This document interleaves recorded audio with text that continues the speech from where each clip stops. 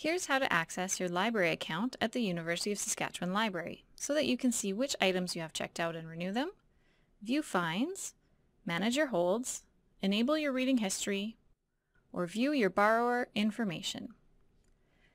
There are two different ways that you can access your library account. The first way is through PAWS. If you don't already have the My Library Account channel saved as a favorite in PAWS, just type Library in the search bar at the top of the screen and then select it from the list of results. Click on the Add to Favorites button to add it as a quick link in your PAWS Favorites menu. The second way to access your library account is through the library's website at library.usask.ca. Make sure you're signed in first by clicking on the Sign In button at the top right of the screen. Or, if you're on mobile, click Menu and then Sign In. Use your NSID to log in. Once you see your name, click on it to access the My Library Account link.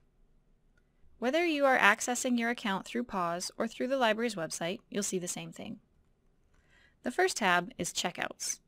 Here you can see a list of items that you are currently borrowing from the library. You can see their due dates, so you can know when to return them. If you'd like to keep them for longer, you can click on the Renew button. Items may be renewed online twice.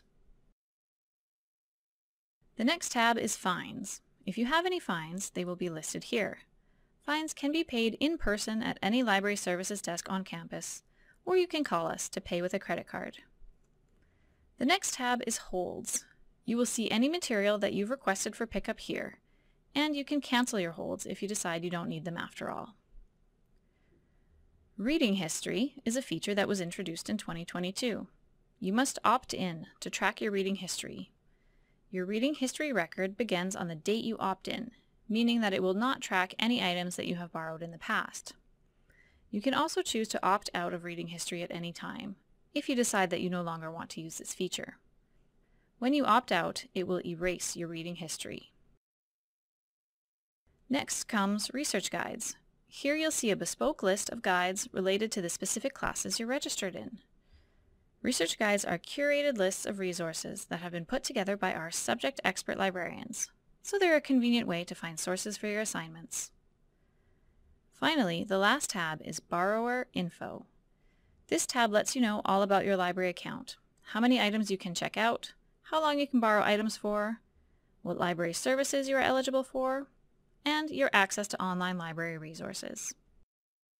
If you have any questions about your library account, please visit any library services desk on campus in person, use our online Ask Us chat, or send an email to library.services at usask.ca. Thanks for watching.